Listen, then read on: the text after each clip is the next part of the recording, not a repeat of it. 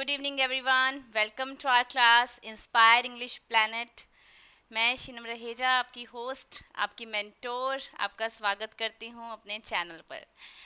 जी कैसे हैं आप सब? और क्लास लाइव हो गई है फटाफट से स्टूडेंट्स को आप शेयर करो ताकि जल्दी से जल्दी क्लास आगे बढ़े। Hello Arman ji. Hi Nitika hello Sukhpreet Neeraj Jeenia Bhullardeep Neha, Shailja Preet Kanwal Shaina. कैसे हैं जी? Good evening everyone good evening good evening Harjinder Kaur and Nisha Arora. बेटा, आज की क्लास से न्यू सीरीज़ शुरू होने जा रही है और ये सीरीज़ है यूजीसी के प्रीवियस ईयर पेपर्स की। ये प्रीवियस ईयर पेपर्स आपको हर एग्ज़ाम में काम आने वाले हैं क्योंकि ये नेशनल लेवल का पेपर होता है यूजीसी ठीक है? तो इससे आप कोई भी स्टेट का, जो स्टेट लेवल एग्ज़ाम्स होते हैं, चाहे वो UP MP Haryana Punjab and Rajasthan कोई भी हो, चाहे गुजरात, कोई भी स्टेट का टीजीटी पीजीटी या कोई भी lecture cadre master cadre any exam related to English literature आप ये सारी ही सीरीज़ इसको फॉलो करना बहुत इंपॉर्टेंट क्वेश्चंस आएँगे इसमें, जो आपके लिए, सबके लिए मतलब बेनिफिशियल रहने वाले हैं। गुड इवनिंग दीक्षा एंड इन्हीं पेपर्स को ही मैंने भी किसी टाइम पर किया था, है ना? इनसे ही प्रैक्टिस की थी और प्लस अपनी सेल्फ स्टडी करी एंड कोचिंग वगैरह अच्छे से ली और मेरा भी नेट जेआरएफ क्लियर हुआ था। तो इस बार अगर आप भी मेरे साथ जुड़ेंगे तो इस बार आपकी नौकरी भी पक्की होने वाली है। तो आज डे वन है प्रीवियस ईयर पेपर्स का। जो चैनल पर पहली बार आए हैं जी, जो पहली बार आए हैं, उनके लिए ये एक अलग स्लाइड लगाई है ताकि आपको पता लगे कि हमारी क्लास में हम क्या क्या स्टडी कर रहे हैं। हम मास्टर कैडर का बैच हमारा रनिंग है यूजीसी का बैच एक अक्टूबर से यहाँ पर लिखा हुआ है। एक अक्टूबर से लाइव हो जाएगा। पीजीटी और टीजीटी जो उत्तर प्रदेश के हैं यूपी के हैं, ठीक है? तो वो भी लाइव है। जी। आवाज़ क्लियर नहीं है क्या मुस्कान? जी। और अगर आप लोगों को ओनली लिंग्विस्टिक्स की क्लास लेनी है तो लिंग्विस्टिक्स का जो बैच है, वो अभी शुरू नहीं हुआ है। लिंग्विस्टिक्स का सिलेबस अभी होना बाकी है तो आप जल्दी से इसमें भी एनरोल हो सकते हैं, ताकि आप साथ साथ लाइव क्लासेस कनेक्ट कर सकें। इसमें आपको थ्योरी प्रॉपर लिंग्विस्टिक्स की, साथ में e notes mock test practice test live classes recorded classes सब मिलने वाली हैं। लिंग्विस्टिक्स का बैच आप स्टोर पर जाइए, वहाँ प्राइस वगैरह सब मेंशन है। ऐप डाउनलोड करो, उसमें पता चलेगा आपको। और ये ओनली एमसीक्यूज हैं मास्टर कैडर के, ठीक है? अगर आपको ओनली एमसीक्यूज देखने हैं, उसके लिए भी अलग से सुविधा प्रोवाइड की गई है। तो इसके लिए आपको सिर्फ़ ये करना है कि ऐप डाउनलोड करनी है, उसके अंदर सब कुछ अवेलेबल है। स्टोर के अंदर जाइए, हर चीज़ वहाँ आपको दिखेगी। जी। तो आज का पहला क्वेश्चन है in 1817 review of Coleridge Biographia Literaria Francis Jeffrey coined the term इन्होंने एक टर्म कॉइन की थी, क्या टर्म का नाम था लेक स्कूल ऑफ़ पोइट्स क्या टर्म थी? लेक स्कूल ऑफ़ पोइट्स नाम की टर्म थी, क्योंकि ये राइटर्स को देख के हम अंदाज़ा लगा सकते हैं कि फ्रांसिस जेफरे ने क्या कॉइन किया था लेक स्कूल ऑफ़ पोइट्स तो इसमें से आपको बस फाइंड आउट करने हैं कि लेक स्कूल ऑफ़ पोइट्स कौन से हैं। बेटा, चीज़ें वही होती हैं। यूजीसी और स्टेट लेवल के एग्ज़ाम में ये फ़र्क है कि वहाँ पर क्वेश्चन ज़्यादा घुमा के देते हैं। आंसर्स तो वही आना होता है जो हर किसी को पता है कि लेक स्कूल ऑफ़ पोइट्स क्या है। बस यहाँ पर थोड़ा सा घुमा के बता देंगे चीज़ें। तो आंसर बिल्कुल ठीक है स्टूडेंट्स का। वर्ड्सवर्थ, कॉलरिज एंड साउदी कौन है? लेक स्कूल ऑफ़ पोइट्स है। तो आपको आने वाले नेक्स्ट क्वेश्चंस भी हैं। सिर्फ़ क्वेश्चन को स्टेटमेंट देख के डरना नहीं है। आपको आंसर्स आते होंगे। ठीक है? करवाया हुआ काम है। I am the enemy you killed my friend I knew you in this dark अब ये एक वॉर पोइम है। वॉर से रिलेटेड पोइम है। और ये कुछ पॉइंट्स दे रखी हैं, आपको बस बतानी है कि कौन सी पोइम की लाइन है। ये मास्टर कैडर वालों ने नहीं किया होगा बट ये यूजीसी लेवल पर इंपॉर्टेंट राइटर हैं। तो हम ये पोइम्स देख लेते हैं। The soldier dulce et decorum est to his dead body strange meeting तो अगर आप गैस कर रहे हैं बेटा तो ये डी ऑप्शन आएगा सही आंसर ठीक है? डी ऑप्शन बिल्कुल सही है स्ट्रेंज मीटिंग हाँ जी गैस है, मुझे पता है, क्योंकि बहुत से स्टूडेंट्स हो, आप में से जो यूजीसी की तैयारी नहीं कर रहे कर रहे, है ना? हाँ जी, हरजिंदर जी यूजीसी के लिए 55 परसेंट होना ज़रूरी है। जी। एमए में 55 परसेंट होगा, तभी आप यूजीसी के लिए एलिजिबल हैं। ठीक है? हाँ जी। चलिए, अलीशा, अब ये वाला देखिए। यहाँ पर मैंने एक्सप्लेन कर दिया, क्योंकि कुछ कुछ चीज़ें ऐसी होती हैं, बिना एक्सप्लेनेशन के समझ भी नहीं आती, और न्यू चीज़ों को एक्सप्लेन करना ज़रूरी है। स्ट्रेंज मीटिंग पोइम है विल्फ्रेड ओवन की। पहले ये चीज़ आपको ध्यान रखनी है। ये वर्ल्ड वॉर वन के लिए लिखी गई थी, और ये 1919 में आई थी 1918 और 1919 में पब्लिश हुई। ओवन की डेथ के बाद, ठीक है? विल्फ्रेड ओवन की डेथ के बाद ये पब्लिश हुई, और ये लाइंस हैं, जो इसके सेकंड पैराग्राफ में आती है I am the enemy you killed my friend I knew you in this dark for so you frowned yesterday through me as you jabbed and killed i parried but my hands were loath and clawed let us sleep now. तो ये lines हैं ये उन्होंने अपने enemy के लिए उन्होंने वो बोल रहे हैं कि एनिमी uh, को भी मतलब I am the enemy you killed कि मैं ही वो दुश्मन हूँ फिर भी उसको वो फ्रेंड बोल रहे हैं। ठीक है? तो ये स्ट्रेंज मीटिंग की लाइंस हैं। अब आगे देखिए, यहाँ पर कुछ इंस्पिरेशनल वर्क्स हैं जिनसे ये वाले वर्क्स निकल कर आए हैं। तो आपको मैच कॉलम करना है कि कौन से वर्क्स के साथ कौन सा ये मैच होता है। हाँ जी। जाओ।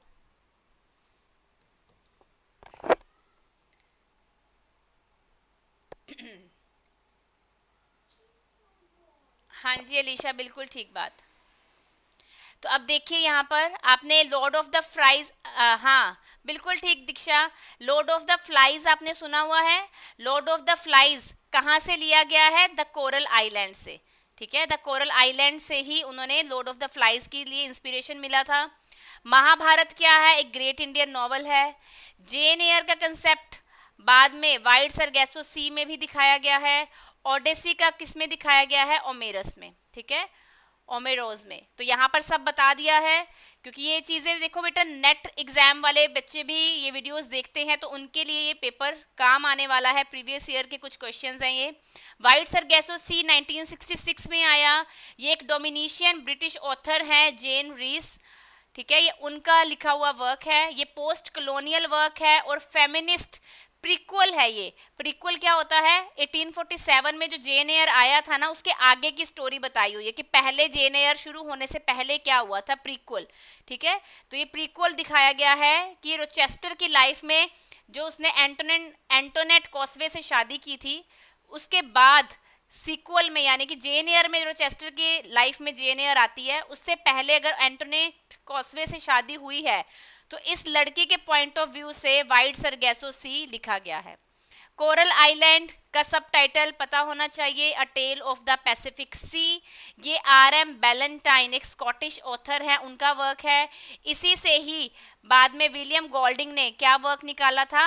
The Lord of the Flies Lord of the Flies का योनरा आपको पता होना चाहिए, ये एक डिस्टोपियन नॉवल था। ठीक है? अच्छा प्रीत कंवल जी, ठीक है। नेक्स्ट आ गया बेटे ओमेरोज एक एपिक पोइम है डायरेक्ट वॉलकॉट नाम के राइटर हैं उनकी। और ये पोइम जो है, इसमें कुछ कुछ चैप्टर्स ओडिसी से लिए गए हैं। तो ये उससे हम मैच कॉलम से रिलेट कर सकते हैं, ठीक है? चलिए हिज लाइफ वॉज़ जेंटल अब ये आपको सबको आता है क्वेश्चन ध्यान से देखो।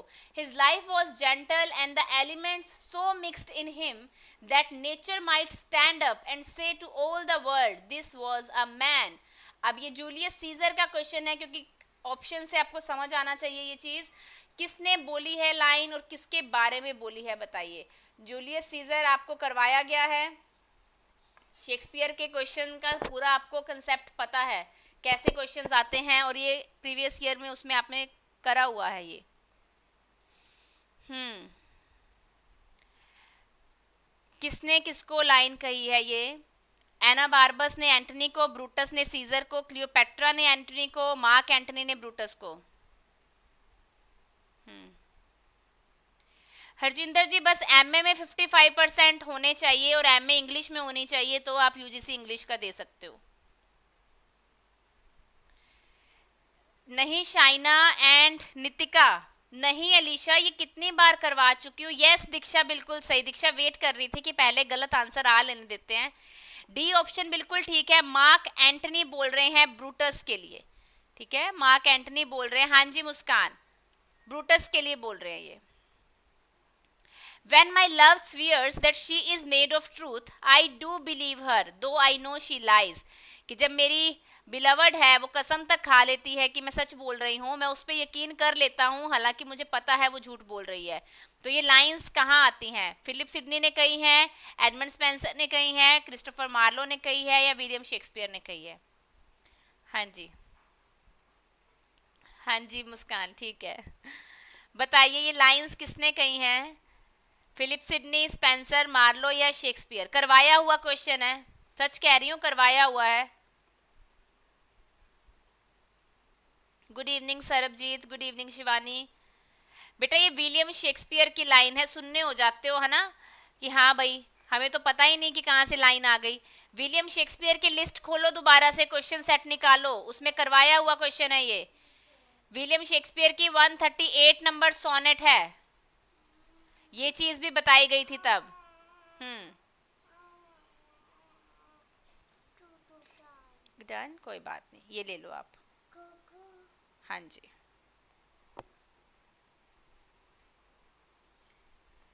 एक मिनट बस। आंटी से डलवा लो बेटे।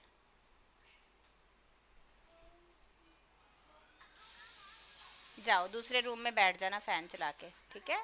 गेट बंद से, बाहर से बंद कर जाओ, ये ले जाओ।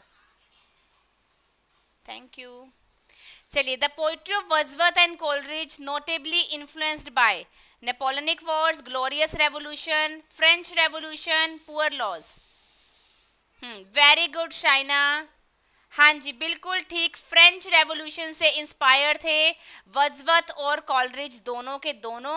और जो वर्जवत का लिरिकल बैलेट्स है, वो स्पेसिफिकली फ्रेंच रेवोल्यूशन पे ही बेस्ड है। वहीं से ही मतलब उन्होंने इंस्पायर होकर ये सारे वर्क्स लिखे हैं, जो लिरिकल बैलेट्स में जितने भी पोइम्स हैं फ्रेंच रेवोल्यूशन से इंस्पायर्ड है। और फ्रेंच रेवोल्यूशन कब आया था, इसकी डेट आप मुझे कमेंट बॉक्स में बताएँगे। अभी से होमवर्क लेने शुरू करो बेटा बहुत दिन हो गए काम नहीं ना दिया आपको? हम्म। बस एक सेकंड दो मेरे को मेरे को एसी तेज कर लूँ मैं ज़रा।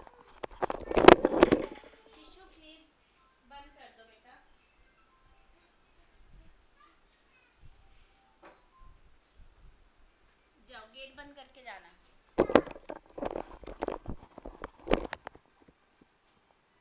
यस चाइना बिल्कुल ठीक। 1789 यस हाँ जी डेट बिल्कुल ठीक है, करवाई हुई लाइन है, करवाई हुई डेट है, क्योंकि 98 में आया था लिरिकल बैलेट्स और उसका उल्टा 89 में आया था French revolution great wits are sure to madness near allied and thin partition do their bounds divide अब ये करवाया हुआ है, देख लो, अभी अभी ड्राइडन करके हटे हैं, आपको पता है। दो दिन भी नहीं हुए ड्राइडन को ख़त्म हुए, ये कहाँ से लाइंस आती हैं, बताइए। Good evening Rishabh good evening and Pooja Harjinder ji बताइए। ग्रेट विट्स वाली लाइंस आपको कहाँ देखने को मिलती है? मैकफ्लेक्नो एप्सलम एसे या अलेक्जेंडर फीस्ट बिल्कुल बढ़िया बढ़िया बढ़िया। हाँ जी, बिल्कुल ठीक दीक्षा। एप्सलम एंड अकीटोफेल की लाइंस हैं ये ग्रेट विट्स वाली। बिल्कुल ठीक है। Who among the followings developed the term strategic essentialism strategic essentialism term किस राइटर ने दी है? आप लोगों को जब मैंने प्रॉपर लिस्ट प्रोवाइड करवाई थी टर्म्स की, है ना? बिल्कुल जो लास्ट टू क्लासेस लगी हुई हैं टर्म्स की, उसमें आपको करवाया गया है स्ट्रेटेजिक असेंशियलिज्म टर्म किसने दी है? ये टर्म बताइए स्ट्रेटेजिक असेंशियलिज्म टर्म किसने दी है? करवाई गई है आपको? सारे इंडियन राइटर्स हैं ये yes Edward Said Gayatri Spivak, Homi Bhabha, Azad Ahmad. नहीं बेटा, ये गायत्री चक्रवर्ती स्पीवाक है ये, ठीक है? बी ऑप्शन आएगा। आपको लिस्ट वो याद नहीं है टर्म्स की, आपका वो टर्म्स का टेस्ट होना बाकी है है ना? तभी वो चीज़ें आपको याद नहीं है। कोई बात नहीं बहुत जल्दी एक दो दिन के अंदर हम वो जो लास्ट टू डेज़ के काम है है ना? लास्ट टू डेज़ में जितनी टर्म्स करवाई थी उसका आ, कल या परसों उसका टेस्ट रखते हैं ताकि आपको सब चीज़ें रिवाइज हो जाएँ। हम्म। नहीं वो ओरिएंटलिज्म था। एडवर्ड सैयद ने ओरिएंटलिज्म दिया है। ठीक है? इसने स्ट्रेटेजिक असेंशलिज्म दिया है स्पीवाक ने। David Malouf's an imaginary life is retelling the story of अब ये नहीं आता होगा आपको बट फिर भी एक गेस कर दीजिए क्योंकि कुछ चीज़ें हैं जो सिर्फ़ यूजीसी वाले स्टूडेंट्स के लिए इंपॉर्टेंट है है ना? क्योंकि ये बहुत से स्टेट लेवल एग्ज़ाम में भी राइटर ये नहीं दिया होता सिलेबस में। हाँ जी, अलीशा, बिल्कुल ठीक ओविड ओविड राइटर की बात होती है, ये वाली जो वर्क है डेविड मलोफ का एन इमेजिनरी लाइफ में ओविड कैरेक्टर की बात हो रही है। ठीक है? ओविड आंसर आएगा। बेटा, ये सारी सीरीज़ चाहे आप ई एम आर एस का एग्ज़ाम दे रहे हैं ना, उसके लिए भी इंपॉर्टेंट है, क्योंकि ये जो राइटर्स हैं, ये अपने आप में देखो, ये ऑस्ट्रेलियन पोइट हैं। और ई एम आर एस वाले एग्ज़ाम में स्पेसिफिकली मेंशन किया गया है कि ऑस्ट्रेलियन राइटर्स स्पेसिफिकली उसमें बताए गए हैं कि कौन कौन से हैं और एक्स्ट्रा बताया हुआ है ईटीसी e कि कुछ और राइटर्स भी इंपॉर्टेंट हैं जो एग्ज़ाम में पूछे जा सकते हैं, जैसे कि डेविड जॉर्ज जोसेफ मेलूफ है, जिनको हम डेविड मेलूफ बोलते हैं। उनका ये वर्क एन इमेजिनरी लाइफ ठीक है? उसमें रोमन पोइट ओविड की बात हो रही है। ये क्वेश्चन एज इट इज़ आपके ई एम आर एस वाले एग्ज़ाम में पूछा जा सकता है। चलिए, Jabberwocky is a character in the importance of being earnest Fra Lippo Lippi through the looking glass goblin market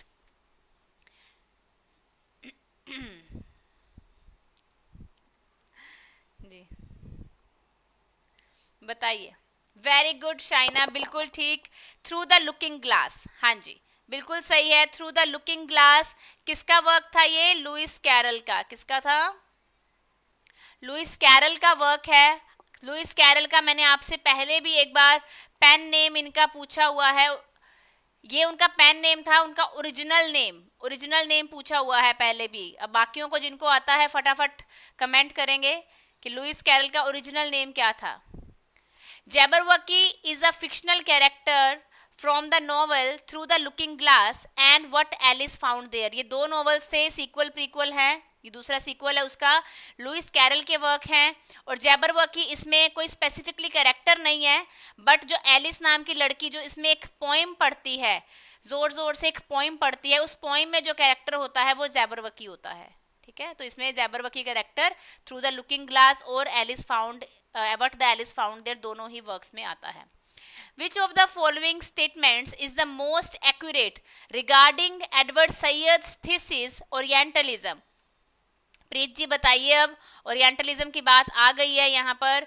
Edward Syed ने कंसेप्ट दिया था ओरिएंटलिज्म। यहाँ पर ट्रू वर्ड पूछा है कि ट्रू स्टेटमेंट कौन सी है, सही स्टेटमेंट कौन सी है, ओरिएंटलिज्म क्या चीज़ होती है, बताइए। हम्म इनको फाइन ठोकना पड़ेगा, अलीशा, ये लेट आते हैं ना क्लास में। एक बार स्टेटमेंट पढ़ो, ओरिएंटल लोग होते हैं ईस्ट वाले, जैसे इंडिया है इसको हम ओरिएंटल्स बोलेंगे, जितने भी एशियन कंट्रीज़ हैं, वो ओरिएंटल्स ओरिएंटल्स हैं वो, ठीक है?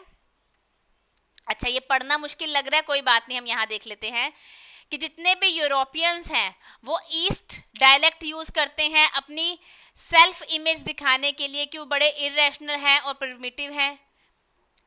जो ओरिएंटल पीपल हैं, वो वेस्ट कल्चर यूज़ कर रहे हैं यूरोपियन है, वो ईस्ट कल्चर रिलेट कर रहे हैं अपने आप को रैशनल और मॉडर्न दिखाने के लिए। ओरिएंटल पीपल वेस्ट यूज़ कर रहे हैं अपने आप को रैशनल और मॉडर्न। यहाँ पर पता है क्या चीज़ है? पहले तो ओरिएंटलिज्म का मतलब समझो। अगली स्लाइड पे बताती हूँ, फिर वो दोबारा करेंगे। जो ओरिएंटल थे ना बेटा, वो थे ईस्ट वाले। जो ऑक्सीडेंटल थे, वो हैं वेस्ट वाले। तो वेस्ट हमेशा ही अपने आप को क्या मानता है? सुपीरियर। ठीक है? सुपीरियर मानता है रैशनल मानता है लॉजिकल मानता है मॉडर्न मानता है। और ईस्ट वाली कंट्रीज़ को क्या बोलता है वो? कि ये लोग प्रिमिटिव हैं। क्या हैं ये लोग? प्रिमिटिव हैं क्योंकि ये लोगों को उसमें फंसे हुए हैं, ये सुपरस्टिशंस में फंसे हुए हैं ये लोग, जो ओरिएंटल लोग हैं, ठीक है? ओरिएंटल्स हैं, ये आज भी पूजा पाठ में फंसे हुए हैं और सुपरस्टिशंस में फंसे हुए हैं कि कोई चीज़ हो जाए जी, पहले मतलब जगराता रखवा लो या चा, चाहे पंडितों को दान दे दो है ना? ये सुपरस्टिशंस में बिलीव करते हैं ओरिएंटलिज्म रेसिज्म में बिलीव करते हैं कास्ट सिस्टम में बिलीव करते हैं। तो ये चीज़ इन्होंने एडवर्ड सैयद ने बोली थी कि जो वेस्टर्न कल्चर वाले हैं, जो यूरोपियंस हैं, वो अपने आप को क्या मानते हैं? मॉडर्न हैं हम हम सुपीरियर हैं, हम बड़े रैशनल हैं और जो ओरिएंटल वाले हैं, ईस्टर्न वाले हैं, वो बड़े कास्ट में फंसे रहते हैं, प्रिमिटिव हैं, पुरानी सोच के हैं इरेशनल हैं। ठीक है? तो यहाँ पर देखो कौन सी ऑप्शन सही बैठेगी कि जो यूरोपियंस हैं, वो ईस्ट को क्या बोलते हैं? ईस्ट को नीचा दिखाते हैं और खुद बोलते हैं कि हम क्या हैं? हम सेल्फ इमेज हम क्या हैं? हम बड़े ही रैशनल हैं और हम बड़े ही मॉडर्न हैं, ठीक है? तो ये सी ऑप्शन बिल्कुल सही है। यहाँ पर तो इन्होंने अपने आप को क्या बोल दिया कि हम इरेशनल है प्रिमिटिव है? नहीं यूरोपियंस ऐसा अपने आप को नहीं बोलते। और ओरिएंटल पीपल वेस्ट को बोल के ये नहीं बोलते। ओरिएंटल खुद अपने आप को क्यों बोलेंगे कि हम इरेशनल प्रिमिटिव हैं? ओरिएंटल खुद से थोड़ी बोल सकते हैं। इंडियंस वाले खुद ऐसी चीज़ नहीं बोलेंगे। और यहाँ पर वेस्ट को नहीं कर रहे तो ये चीज़ आएगा। ओरिएंटल यूरोपियंस वाले क्या कर रहे हैं? ईस्ट को क्या बोल रहे हैं? ईस्ट को क्या दिखा रहे हैं कि, देखिए, हमारी सेल्फ इमेज कैसी है? हम बड़े ही रैशनल और मॉडर्न है यूरोपियंस वाले। चलिए, ये 1978 डेट याद रखनी है, जितने भी यूजीसी वाले स्टूडेंट्स हैं, ठीक है? और ये एडवर्ड सैयद ने ये लाइन कही थी, यहाँ पे डब्ल्यू इनका बीच का जो मिडल नेम है एडवर्ड डब्ल्यू सैयद और ओरिएंटलिज्म इनका कंसेप्ट था। एवरी मैन क्या चीज़ है? एवरी मैन एक मिडीवियल प्ले है बाइबल के ऊपर लिखा हुआ। एवरी मैन एक मोरालिटी प्ले है एवरी मैन एक ट्यूडर इंटरल्यूड है, या एक मेरेकल प्ले है। बताइए एवरी मैन क्या चीज़ है? जी। एवरी मैन क्या एक बाइबल के ऊपर बेस्ड है मोरालिटी है इंटरल्यूड है। हाँ जी, बिल्कुल ठीक, ये एक मोरालिटी प्ले है। ठीक है? इसमें moral vices and virtues vices and virtues के ऊपर बेस्ड है एथिक्स के ऊपर बेस्ड है मोरल वैल्यूज़ के ऊपर बेस्ड है तो ये एक मोरालिटी प्ले है। ठीक है? क्रिश्चियन वैल्यूज़ की बात हो रही है यहाँ पे क्रिश्चियन मोरल वैल्यूज़ की बात हो रही है। ठीक है? गुड, बैड, इविल, ये सब चीज़ें बताई गई है इसमें। पेरीफ्रेजिस क्या चीज़ होती है? यहाँ पर उन्होंने एक बता भी दिया कि पेरीफ्रेजिस है round about way of speech, कि घुमा घुमा कर बात करनी, डायरेक्टली बात मत बतानी, घुमा घुमा के बात बतानी, जलेबी की तरह बात को घुमाना। तो इसके साथ का मिलता जुलता वर्ड क्या होगा? करवाया हुआ है?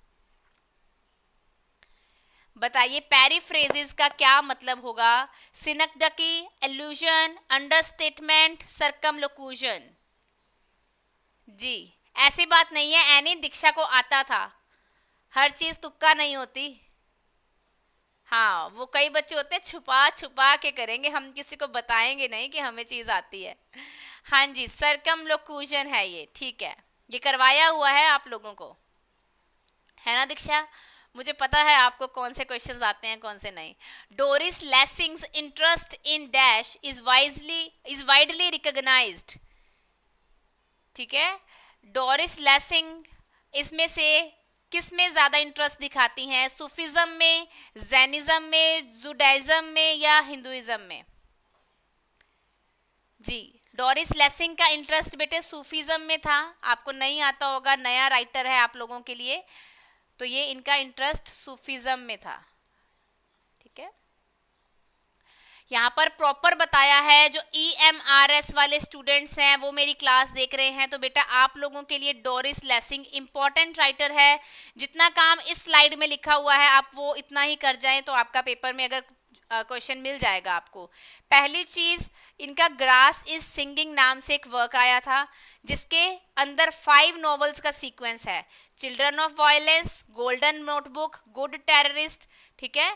और इन फाइव नॉवेल्स को, इन फाइव नॉवेल्स को क्या बोलते हैं? कैनपस इन आर्गोस और डोरिस लेसिंग पहली ऐसी महिला है जो ओल्डेस्ट वन है, ठीक है? ओल्डेस्ट पर्सन है टू रिसीव नोबेल प्राइज इनको 2007 में नोबेल प्राइज मिला था। तो ये चीज़ याद रखनी है, तब वो 87 एज की थी। सबसे ओल्डेस्ट लेडी हैं जिनको नोबेल प्राइज मिला है 2007 में। Arrange the following in the chronological order अब तो ये चीज़ें तो आती होंगी आपको। है ना? ये तो आता होगा कि शेक्सपियर की डेथ कब हुई है जेम्स वन थ्रोन पे कब आए थे कैक्सटन की प्रिंटिंग वाला मैं कह नहीं सकती आपको आता है या नहीं। नॉर्मन कॉन्क्वेस्ट भी आप लोगों ने नहीं पढ़ा बट यूजीसी वालों के लिए इंपॉर्टेंट है तो मैं यहाँ लिख दे रही हूँ। 1476 में ये ये तो बता दो मुझे। जेम्स वन तो आता होगा आपको। जेम्स वन के लिए नाक तो नहीं कटवाओगे। हाँ जी, दीक्षा सी और डी नहीं सुने। ए और बी तो सुना है। 1616 और 1603 ठीक है? अब इसको सीक्वेंस में लगा लो, पहला, दूसरा, तीसरा, चौथा। डी सी बी ए जी, बिल्कुल ठीक, Shaina. The muse of history is a classic post colonial essay by तो ये किसका ऐसे है? द म्यूज ऑफ़ हिस्ट्री तो ये ऐसे है बेटे डायरेक्ट वॉलकॉट का, ठीक है? हाँ जी, बिल्कुल ठीक, अंकित। हाँ जी। डायरेक्ट वॉलकॉट की ये ऐसे था post colonial essay the muse of history यहाँ पर थोड़ा सा डायरेक्ट वॉलकॉट के बारे में जान लेते हैं. ये एक कैरिबियन पॉइंट है, ठीक है? ये एक कैरिबियन पॉइंट है. उन्हें नोबेल पुरस्कार भी मिला हुआ है. कब मिला था? 1992 में, ठीक है? डायरेक्ट वॉलकोट को कब मिला था नोबेल प्राइज 1992 में मिला था. अभी अभी इनकी हमने ओमेरोज पोइम के बारे में पता किया था. पहला ही क्वेश्चन था जब ओमेरोज और इनके बारे में ये जानते हैं यहाँ पे कि द म्यूज ऑफ़ हिस्ट्री इनका एक पॉलिटिकल ऐसे है, ठीक है, जो इस कलेक्शन में पब्लिश हुआ था। और ये एक सेंट लूशियन पोइट हैं, यहाँ के रहने वाले हैं, ये भी आपको पता होना चाहिए, कैरिबिया के अंदर ही ये स्टेट है, वहाँ से हैं ये। और इनके ये तीन वर्क्स इंपॉर्टेंट है। Dream on a monkey mountain काफ़ी ज़्यादा इंपॉर्टेंट है, और ये दो भी मतलब तीन नाम बहुत हैं यूजीसी वालों के लिए, अगर आप डायरेक्ट वॉलकॉट कर रहे हैं और आपको नोबेल प्राइज इसका याद करना है। चलिए। Do I contradict my self very well then I contradict my self I am large I contain multitudes जी हाँ जी, Dharmpal ji. Do I contradict my self very well then I contradict my self I am large and I contain multitudes कि मुझमें ही सारे समाये हुए हैं। ये line कौन कहता है? Walt Whitman. कौन कहता है? वॉल्ट विटमैन कौन सी पोइम में? सॉन्ग ऑफ़ माई सेल्फ ठीक है? सॉन्ग ऑफ़ माई सेल्फ में ये लाइंस आती हैं और बहुत ही इंपॉर्टेंट कोट है ये ई एम आर एस वाले स्टूडेंट्स के। सिलेबस में वॉल्ट विटमैन दिए गए हैं, उनका पेपर आने ही वाला है नवंबर में। तो ये क्वेश्चन का स्क्रीनशॉट ज़रूर ले लेना। आपके लिए ये इंपॉर्टेंट है क्वेश्चन चलिए verses on the death of doctor Swift was written by Jonathan Swift Pope Samuel Johnson James Boswell verses on the death of doctor Swift किसका वर्क है? Hmm. बताइए verses on the death of doctor Swift आज ही हमने हाँ जी, बिल्कुल ठीक, शाइना। आज हमने अपने बैच क्लास में जॉनथन स्विफ्ट शुरू करना है तो उसमें भी मैं आपको ये करवाऊँगी। हाँ जी, स्विफ्ट की ही अपनी ये, क्या बोलेंगे इसको, ओबिचुरी थी ये, ठीक है? जी। Match the following elegies with the person for whom they were return बताइए, अब ये तो क्वेश्चन बिना ऑप्शंस के आना चाहिए। देखो, ये यूजीसी वाले क्वेश्चंस में इस तरीके से भी पेपर में इस तरीके से क्वेश्चंस भी आते हैं। तो ये एलिजीज हैं, उनको आपको राइटर्स के किन के लिए ये लिखी गई थी for whom they were written ये मैच करने हैं। बताइए, फटाफट से करेंगे। Hmm very good Diksha.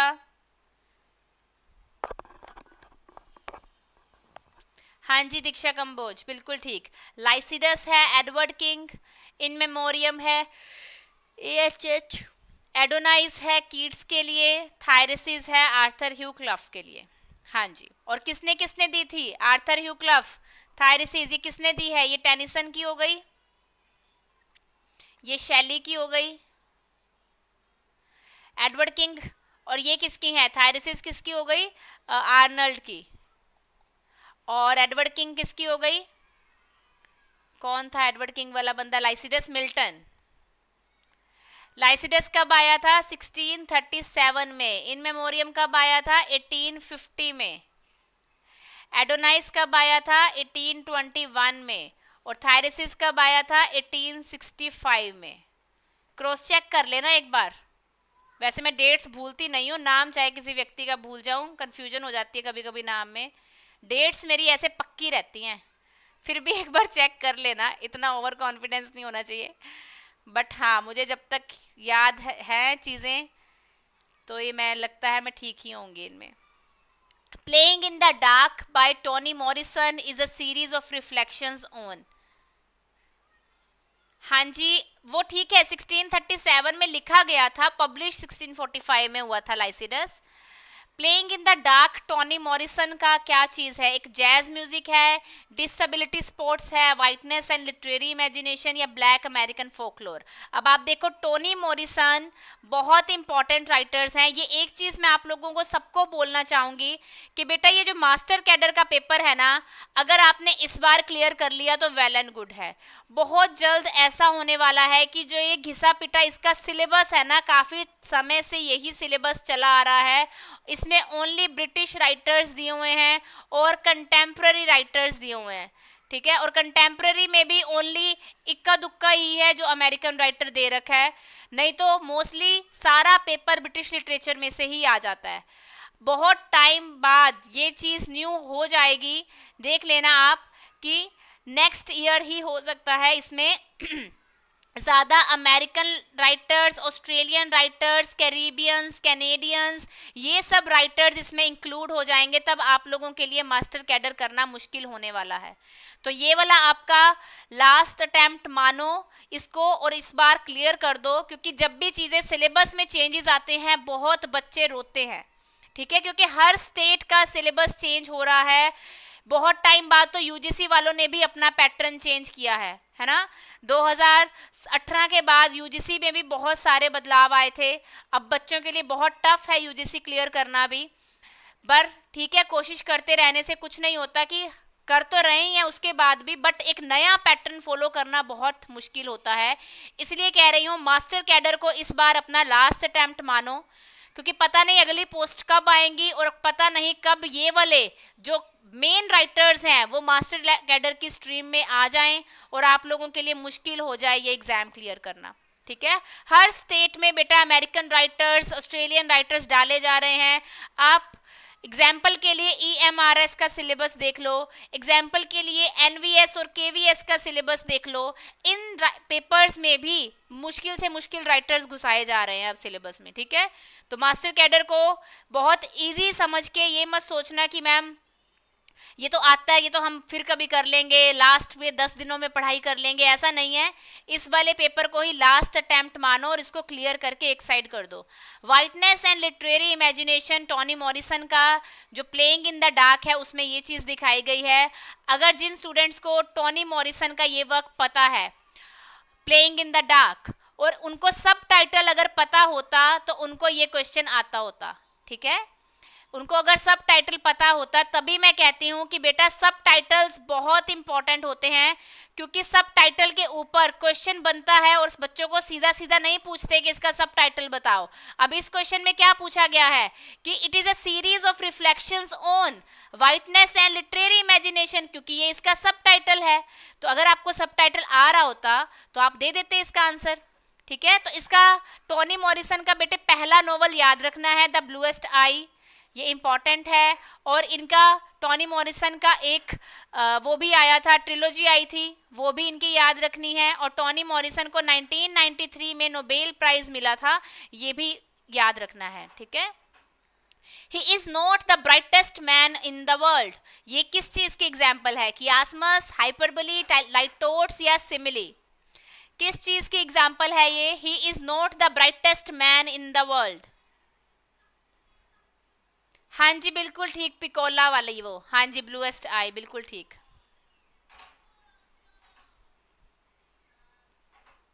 हाँ जी, शाइना लाइटोट्स बिल्कुल सही है, क्योंकि नॉट द ब्राइटेस्ट कह के वो क्या बोल रहे हैं कि he is the dullest man है ना? हाँ ब्राइटेस्ट का नेगेटिव ऑपोजिट वर्ड हो गया he is the dullest man in the world the term horizons of expectations is associated with. ये टर्म बताइए किसने दी है?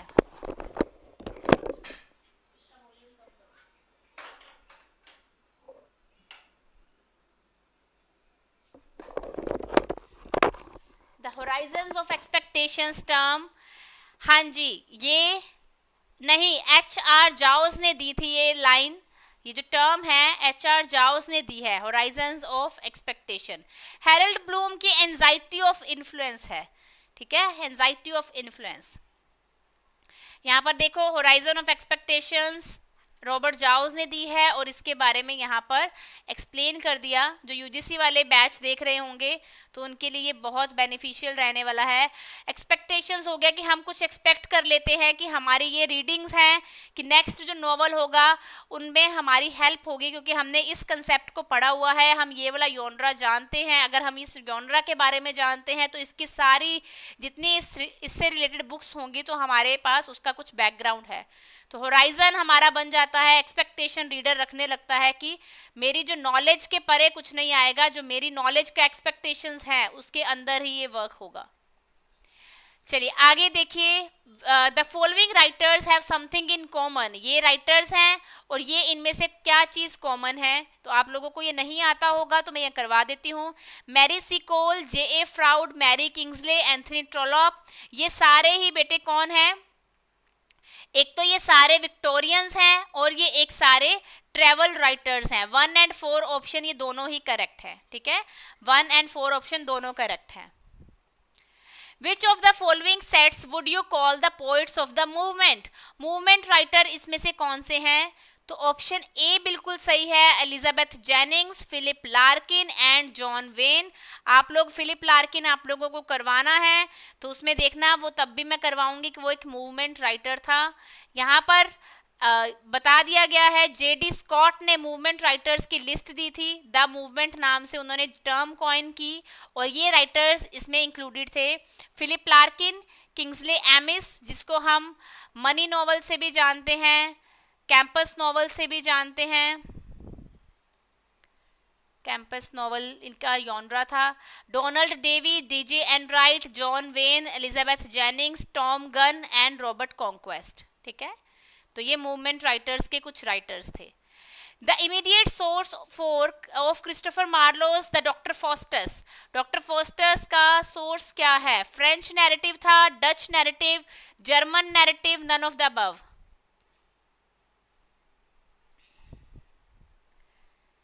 Shaina, इसका टेस्ट हम रखेंगे। आज क्या हो गया? बुधवार हो गया ना? बुधवीर शनिवार रख लेंगे, सैटरडे को रख लेंगे टेस्ट। हाँ जी, जर्मन नैरेटिव, बिल्कुल ठीक।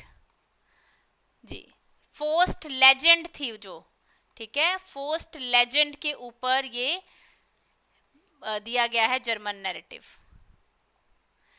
यहाँ पर अच्छा ये एक क्वेश्चन स्किप हो गया ना यहाँ पे हाँ। The term diaspora was originally apply to the following ethnic group साढ़े आठ बजे जैसे गिल जी? डायस्पोरा जो वर्ड आया है, उसका मीनिंग है जो राइटर्स बाहर दूसरे, अपने होमलैंड को छोड़कर बाहर कंट्रीज़ में जाके बस जाते हैं और वहाँ कुछ जाके राइटिंग्स वगैरह करते हैं पॉपुलर हो गए हैं बहुत। उन राइटर्स को डायस्पोरिक राइटर्स बोला जाता है। तो ये एक्चुअल में डायस्पोरा ओरिजिनेट कहाँ से हुआ था? कौन से धर्म से? जूस से, ठीक है? जो इसराइल में जूस रहते थे, उनको अपना देश छोड़ के जाना पड़ा था, तब उनके लिए ये डायस्पोरा वर्ड पहली बार यूज़ हुआ था जूस के लिए, और देन ये बाकी राइटर्स के लिए यूज़ होना शुरू हो गया। ठीक, यहाँ पर बताया है, देखिए। डायस्पोरा राइटर्स जो अपने कल्चर और रीजन को छोड़ के बाहर कंट्रीज़ में चले जाते हैं अपना होमलैंड छोड़ के, ठीक है? कुछ इंडियन राइटर्स हैं जो डायस्पोरिक राइटर्स हैं, जैसे अनिता देसाई, भारती मुखर्जी के ऊपर बहुत यूजीसी में क्वेश्चंस आते हैं। अमिताभ घोष भी डायस्पोरा राइटर्स हैं। चित्रा बनर्जी, सुमित्रा सुनित्रा गुप्ता, झंपा लहरी बहुत इंपॉर्टेंट है। ये सारे ही डायस्पोरिक राइटर्स हैं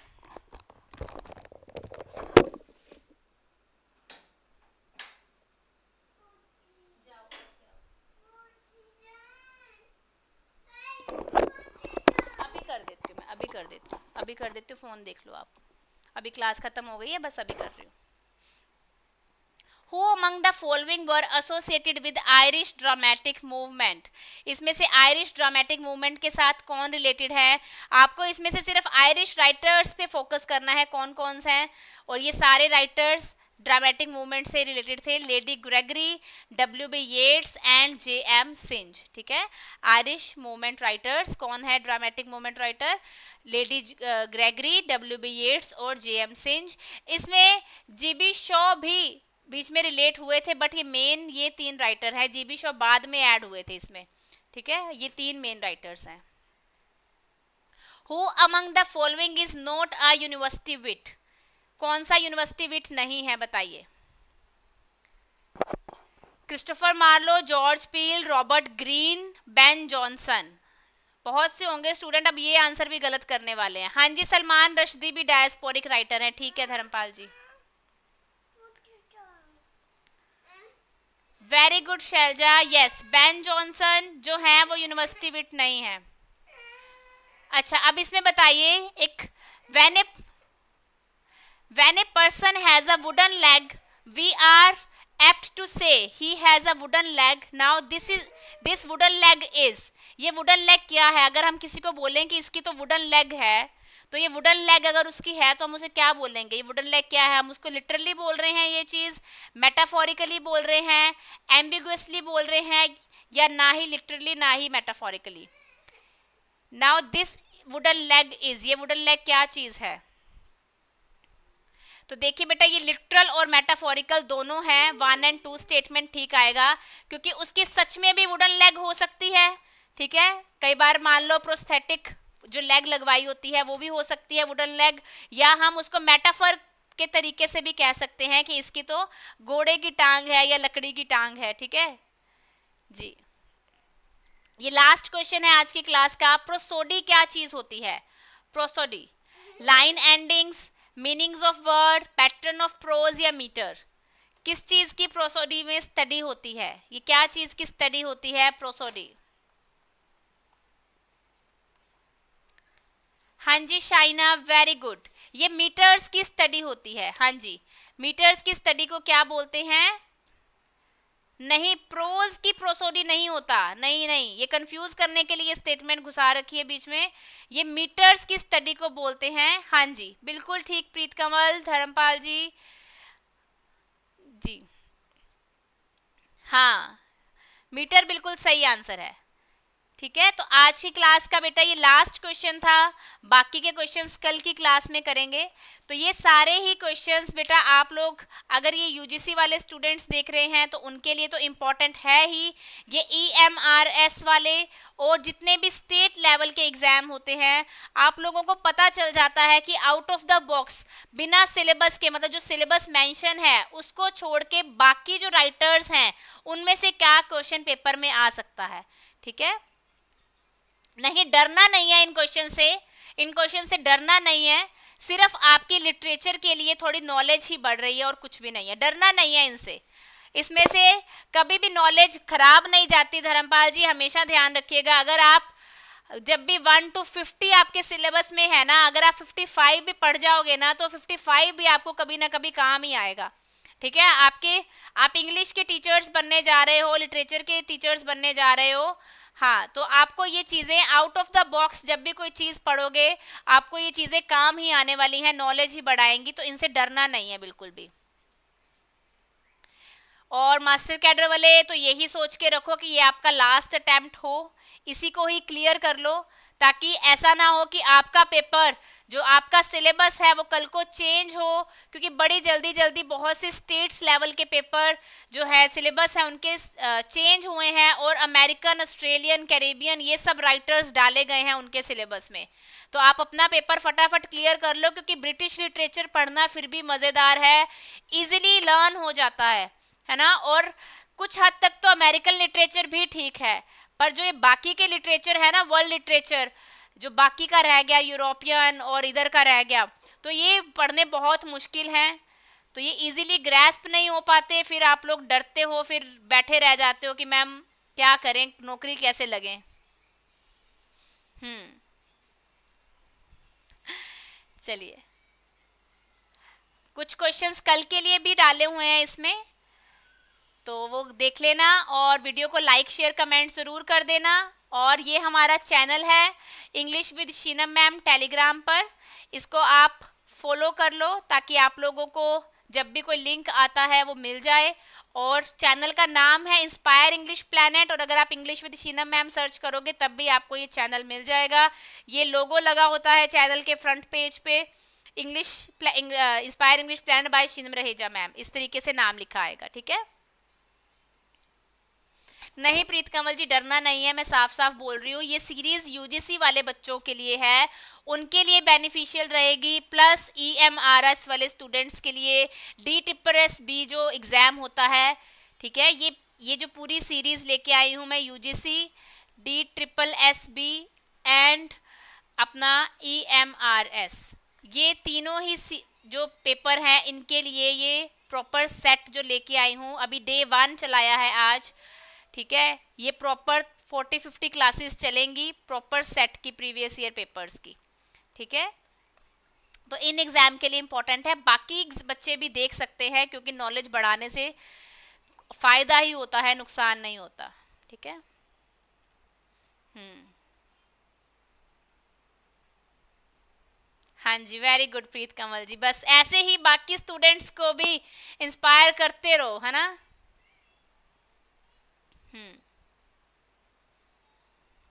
ठीक है। मैंने भी बहुत चार्ट्स लगाए थे अपने रूम में कि इस बार तो पेपर क्लियर करके ही मानना है। जेआरएफ का ही सपना देखा था और जेआरएफ ही क्लियर किया था। और फिर बहुत ज़ोर ज़ोर से चिल्ला चिल्ला के रोई भी थी मैं कि जब पेपर मेरा क्लियर हुआ, है ना? तो बस वो खुशी जो होती है, वो आप सबको भी मास्टर कैडर क्लियर करके ऐसे ही खुशी होगी और फिर दौड़े चले आओगे, है ना? कि मैम हमारा पेपर क्लियर हो गया है। तो बस, आपको फ़ायदा होने वाला है तो ये क्लासेस ज़रूर लगाना यूजीसी वाले जो प्रीवियस ईयर्स की हैं, क्योंकि इसमें बहुत सारे क्वेश्चंस ऐसे होने वाले हैं, जो एज इट इज़ आपको मास्टर कैडर के पेपर में मिल सकते हैं, ठीक है? हाँ जी, ठीक है, चलिए। ओके जी, कल की क्लास में मिलते हैं शाम साढ़े पाँच बजे, और रात के बैच क्लास में जोनाथन स्विफ्ट के लिए ज़रूर आइएगा।